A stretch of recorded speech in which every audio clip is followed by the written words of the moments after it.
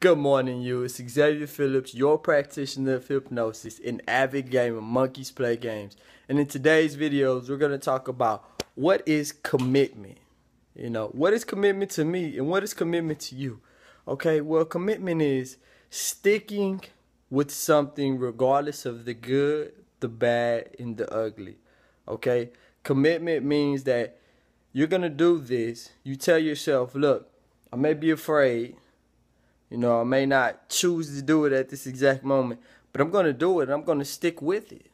Okay? Commitment. You know, when you commit to get married. Yeah, it's, it sounds scary if you're not ready. But the truth is, you'll never be fully ready. So that's where commitment comes in, you know. You may not be ready to start your own business, but that's where commitment comes in. You're ready to commit to something bigger and better. You get what I'm saying? You know, you may want to lose weight or choose to lose weight, and then you're like, ah, I would rather just sit and eat cheeseburgers all day. But that's where commitment comes in. You commit yourself to being a bigger and better you.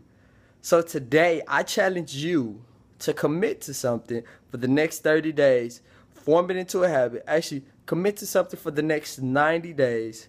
Comment below and let me know what you committed on. I'm interested to know what you guys are committing to because once you start committing to one thing in your life, it makes it easier to commit to everything else. And then you're able to commit to 20 different things and then you feel great about yourself, back to feeling great. And then it'll it'll basically form a new lifestyle for you. And this lifestyle would just be phenomenal and it'll just you may not you may not understand it now, but just commit to this new lifestyle and watch it transform you and transform your surroundings, and you'll have a total paradigm shift. Now, other than that, quote of the day is don't worry about failures. Worry about the chances you miss when you don't even try.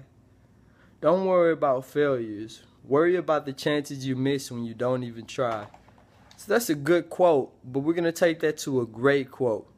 So don't worry about failure. Fail forward.